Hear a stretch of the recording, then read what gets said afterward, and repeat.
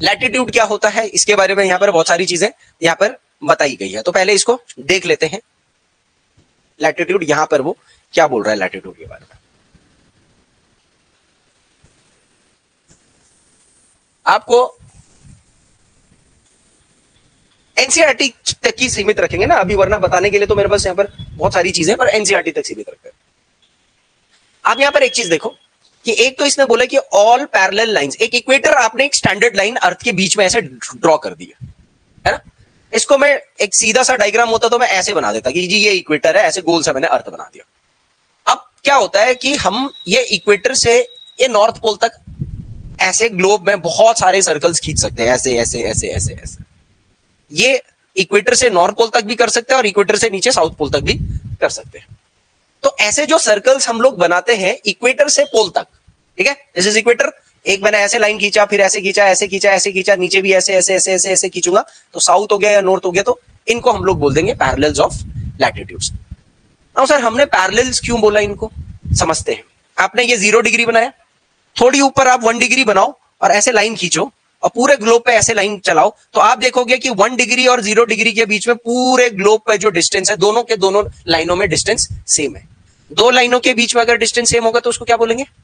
Parallel line बोलते हैं ना, यही चीज़ है। इसको ऐसे सर्कुलर वे में ना देखें तो जैसे ये इक्वेटर है, वो कह रहे हैं, एक लाइन आप ऊपर खींचो वन डिग्री एक लाइन और ऊपर खींचो टू डिग्री ऐसे करते करते पोल तक खींचो। तो आप जितनी भी लाइंस खींचोगे, सभी लाइंस के बीच में डिस्टेंस सेम होता है। इसीलिए इक्वेट जो ये हमारी लैटिट्यूड्स होती हैं इक्वेटर से नॉर्थ पोल तक, जितनी भी मैं ऐसी लाइंस खींचता हूँ, जिनको लैटिट्यूड बोलते हैं, इनको पैरेलल्स भी बोलते हैं। आप समझ में आ गया? पैरेलल्स क्यों बोलते हैं? पहली चीज़ तो ये याद रखना है। Then latitudes are measured in degree अभी देखो, मैंने इसका नाम क्या रखा? एक डिग्री बोला इसको मैंने। या दो डिग्री बोला। तो मैंने इसका टेक्निकली नेम क्या रख दिया? एक डिग्री, दो डिग्री। हालाँकि कुछ कुछ ऐसी लैटिट्यूड्स हम लोग पढ़ेंगे, जिनको हम स्पेसिफिक नेम दे देंगे, जैसे tropic of cancer tropic of capricorn 40 degree parallel 44 degree parallel 23 degree parallel ऐसे मतलब हम नाम दे देते हैं। तो जब मैं पैरेलल शब्द यूज़ करूँ तो समझ लेना कि हॉरिजॉन्टल लाइन वाली बात कर रहा हूँ मैं, यानी लैटिट्यूड की बात कर रहा हूँ। तो ये डिग्री में मेजर होता है। ये अभी आपको याद रखना है। अब डिग्री में क्यों मेजर होता है? Since the distance from equator to either of the poles is one fourth of a circle round the earth ये क्या बोल रहा है? कि आप इक्वेटर से इधर जाओ, ऐसे। तो ये जो पूरा ग्लोब का अगर मैं ये चक्कर लगाता तो ये उसका वन फोर्थ हो जाता है। ऐसे इक्वेटर से नीचे साउथ तक आऊँ। देखो तो ये वाला हिस्से भी वन फोर्थ हो गया। One fourth plus one fourth two by two one by half तो इधर वाला हिस्सा नॉर्थ पोल से साउथ पोल हाफ़ हो गया और पीछे की तरफ़ वाला हिस्सा हाफ़ तो हाफ़ प्लस हाफ़ पूरा एक हो गया ना तो ऐसे पूरा अर्थ का मैं ऐसे चक्कर लगाऊँ। अगर जैसे मेरे सामने ये अर्थ है और मैं यहाँ से ऐसे चक्कर लगाऊँ, ऐसे चक्कर लगाऊँ तो ये एक चक्कर माना जाएगा। मैंने साउथ से स्टार्ट करा, ऐसे गया इक्वेटर मिला मुझे, फिर इधर गया, फिर नॉर्थ मिला, फिर इस तरफ़ को आया, वापस इक्वेटर मिला, फिर नीचे आया साउथ ये एक चक्कर हो गया। लेकिन सर क्योंकि मैं यहाँ पर कुछ स्टडी करने की कन्वेंशन निकालने की कोशिश करो तो इक्वेटर से सिर्फ़ इधर का हिस्सा वन फोर्थ है और इक्वेटर से इधर का हिस्सा भी वन फोर्थ है। ऐसा ही कुछ बता रहा है? वन फोर्थ वन फोर्थ अब वो इसको डिवाइड कर रहा है। एक सर्कुलर चीज़ के चारों तरफ़ जब हम घूमते हैं तो एंगल कितने का बनता है? जब हम सर्कल मैथमेटिकल टर्मिनोलॉजी में स्फेरिकल बॉडी का एंगल जब निकालते हैं तो ये डिग्री में होता है, ये मीटर किलोमीटर में नहीं होता है। आप समझ तो स्फेयर इन चीज़ों को हम डिग्रीज में मेजर करते हैं।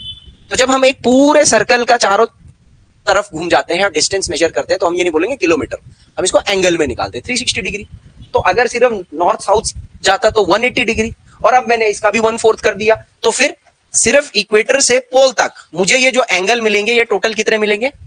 90 डिग्री इसलिए जब भी आप लैटिट्यूड का नामकरण करोगे तो इक्वेटर से ऊपर 90 डिग्री और इक्वेटर से नीचे 90 डिग्री रखना पड़ेगा। सो so, ये कह रहा है कि it will measure one fourth of 360 degree that is 90 degree इसलिए 90 degree north latitude marks the north pole and 90 degree south latitude marks the south pole दो ही चीज़ इसने बताई, देखो अभी तक यहाँ पर। क्या दो चीज़ बताई? पहले यहाँ पर थोड़ा सा एक डायग्राम बना करके समझते हैं। क्या बोला उसने? यार, ये जो इक्वेटर होता है ना, उसने बोला, यहाँ से शुरू करते हैं एंगल नापना। तो ये तो खुद ज़ीरो डिग्री होता है। अब आप इस, इन पॉइंट्स जितने भी ये पॉइंट्स हैं, इन सारे पॉइंट्स पर अगर एंगल निकालोगे इक्वेटर से, ऐसे ऐसे ऐसे ऐसे ऐसे ऐसे, मैं थोड़ा और एडवांस लेवल पर समझा रहा हूँ, ऐसे ये तो ये वन डिग्री है, ये वन डिग्री है, ये वन डिग्री है, ये वन डिग्री है वन डिग्री वन डिग्री तो फिर इन सारे पॉइंट्स को मैं इकट्ठा कर दूँगा तो ये वन डिग्री मिल जाएगा मुझे। ऐसे करते करते, ऐसे करते करते two degree three degree four degree five degree ये सब करते करते करते लास्ट में नॉर्थ पोल पर खत्म होगा जहाँ पर मुझे 90 डिग्री मिलेगा। ठीक है? तो नॉर्थ पोल 90 डिग्री और उसके पीछे आपने क्या लगाना है? नॉर्थ लगाना है। ठीक है? नॉर्थ पोल पे क्या लगाना है? 90 नॉर्थ ऐसे ही मैं इन सारे पॉइंट्स को इक्वेटर के साउथ हेमिस्फेयर में लगाऊँ तो एक डिग्री दो डिग्री दस डिग्री, पचास डिग्री, साठ डिग्री, अस्सी डिग्री, ऐसे करते करते करते लास्ट जो मेरा आएगा वो आएगा नाइन्टी डिग्री साउथ जो कि मेरा साउथ पोल पर है। सबको बात समझ में आ रही कैसे नेमिंग हो रहा है? ये नब्बे नब्बे डिग्री मैंने कैसे निकाला है? ये 90 डिग्री मैंने इक्वेटर को बेस बना करके निकाला है। किसको बेस बनाया मैंने? यहाँ पर इक्वेटर ये ब्लू कलर का रख दीजिएगा इक्वेटर अब ध्यान देना इक्वेटर से ऊपर यहाँ तक का हिस्सा था आपका नॉर्थ हेमिस्फेयर। और इक्वेटर से नीचे यहाँ तक का हिस्सा है आपका साउथ हेमिस्फेयर।